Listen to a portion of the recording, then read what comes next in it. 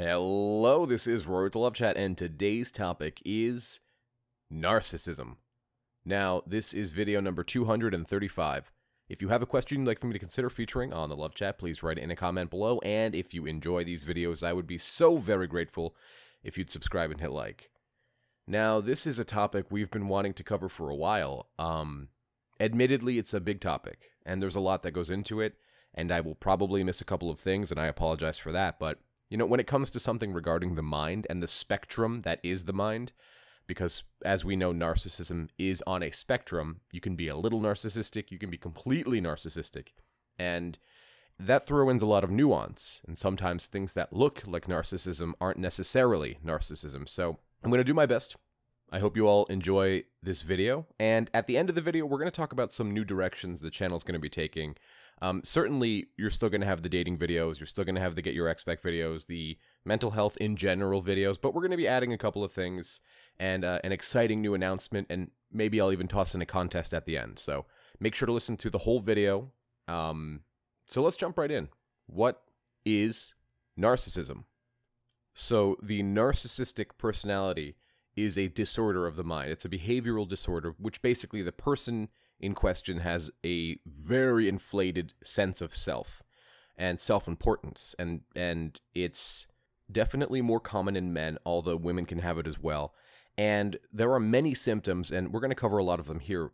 Ultimately, this should only be diagnosed by a mental health professional and not by you because a lot of people are going to come here and think, oh, hey, keyword, narcissism. I think my ex was a narcissist because they broke up with me. That doesn't make your ex a narcissist. Your ex cheating on you doesn't make your ex a narcissist.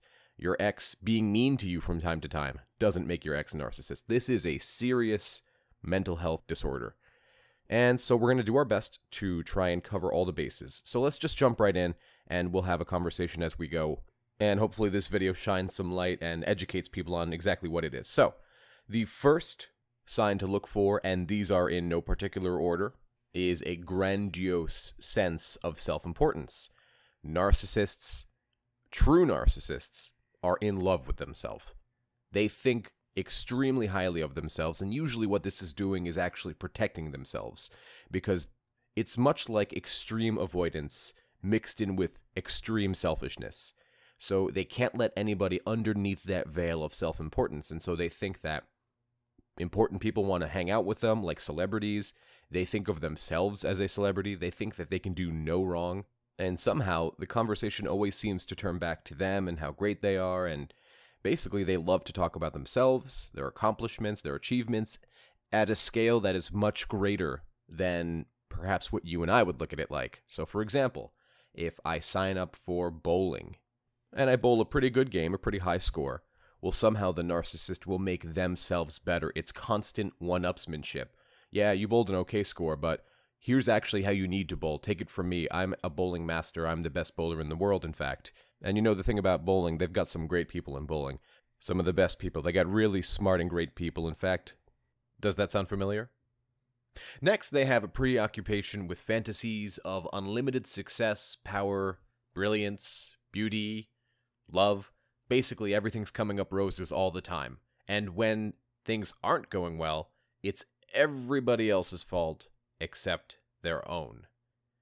Number three for the signs to look for is a belief that they're special and unique and can only be understood by other people that they deem to be as worthy as they are.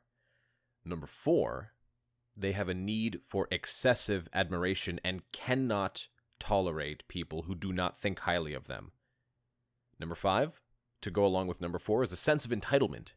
They believe that they're entitled to everything, and that if you believe that they're not, then you're a problem.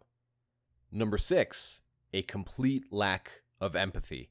They cannot relate to how you're feeling, and in fact, how you feel doesn't even really matter because they must have somewhere in their repertoire a problem that is somehow worse and thus is more deserving of the conversation's attention. Next on the list is an envy of others or a belief that others are envious of them.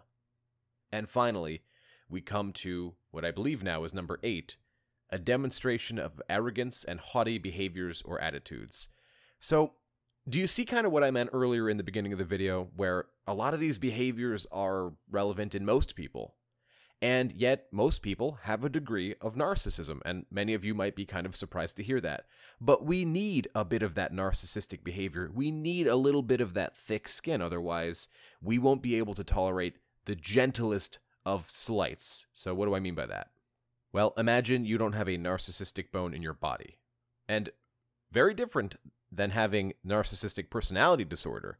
We're talking about much smaller, far lower on the spectrum narcissistic traits, and maybe just one or two. And somebody cuts you off on the highway.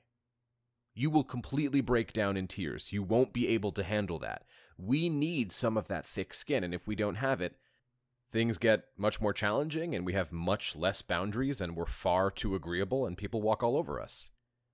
But again, don't get too confused with what I just said compared to narcissistic personality disorder, which is what we're talking about here.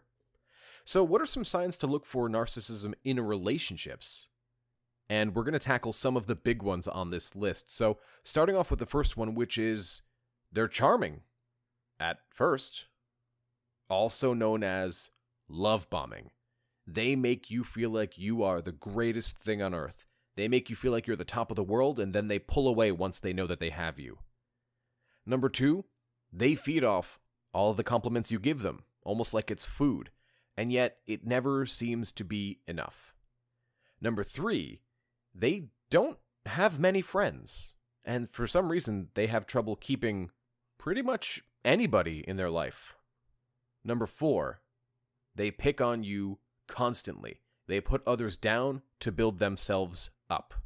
A narcissist is often the bully at your high school, although, to be clear, that is a demonstration of a narcissistic behavior that does not necessarily mean they have narcissistic personality disorder. And I'm going to keep repeating that in this video because there's a very real difference with being identifiably narcissistic and having the personality disorder and just having one or two traits of narcissism, which most people on earth have.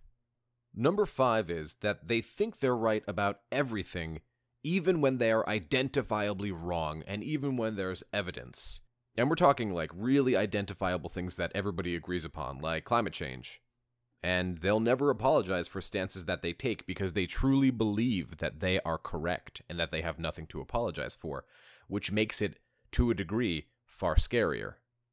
Number six, they freak out when you gain autonomy or try to break up with them because you cannot leave a narcissist. Number seven, and this is probably the biggest one on the list, they gaslight you. So, just to cover what gaslighting is, because I think a lot of people aren't entirely sure, even though they've heard the word. So, gaslighting is when your partner uh, gets you to believe that you are the problem. You feel like everything you do is wrong. You always think it's your fault when things go wrong. You're often apologizing for things that aren't your fault. You have a sense that something's wrong, but you aren't able to identify what it is in the relationship. You often question whether your response to your partner is appropriate, and you make excuses for your partner's behavior to everyone else. Basically, gaslighting is when your partner successfully gets you to call your own sanity into question. Things like, wait, am I the problem? Maybe it's me. Maybe I'm the issue. If you find yourself thinking these things in a relationship, well, then congratulations, you've successfully been gaslighted. And I want you to take a step back and talk to those in your circle, the people that love you, because they're going to set you straight. They're going to go, yep, this one is on you, or nope, this one has nothing to do with you. Rely on your team, your group of people. Those are the people that are going to remind you of who you are when you're not sure. So, all in all, this has been a brief overview of what narcissism is. Now, frankly, folks, it's such a huge topic, there's no way for me to cover everything about it. I will make some additional videos in the future regarding narcissism, but what do you do? How do you handle a narcissist? My first piece of information is you try as hard as you can not to have to handle a narcissist. You identify when there's one, you back away if you can. Sometimes you can't. Sometimes they're family members. Sometimes they're romantic partners. The best thing you can do is constantly remind yourself that you deserve better. Build a support network with friends and family who can help remind you what reality is. Urge your partner, if it's romantic, to go to therapy, or even if it's just a friend get a therapist yourself, and strengthen your relationships with your empathetic friends because these are the people who will help keep you sane and level. I hope you guys have enjoyed this video, and I did mention that a couple of new things were going to be happening with the Love Chat, so I'll take a minute to explain what they are. So, we've recently rented a location. We're going to be setting up all the microphones and cameras for the podcast. I'm not sure if I'm going to use the cameras yet, we'll see. Um, but the microphones will be happening, and we'll be covering many different topics. Not all of them will be about relationships, some of them will branch into fitness, how to lose weight and gain muscle, because so many of you are going through that after a breakup. And so it was suggested to me many, many, many times, and I think we'll finally go through with it, which are breakup videos specifically geared towards how to lose weight more and gain muscle more and gain more mental health and have different counselors on and psychologists and psychotherapists and doctors and personal trainers and all of that. So I think it's interesting and frankly put, it gives me a lot more content to talk about. Now, don't worry, the content that you guys know and love will still be released. We'll still talk about getting your ex back videos. We'll still talk about reconciliation and dating and all the stuff you guys initially came here for. Because frankly, that's what the channel was originally created for.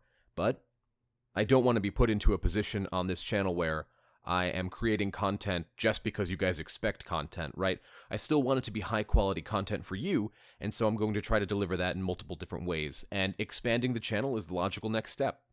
For those that ask, the audiobook is currently being recorded and should be out fairly shortly.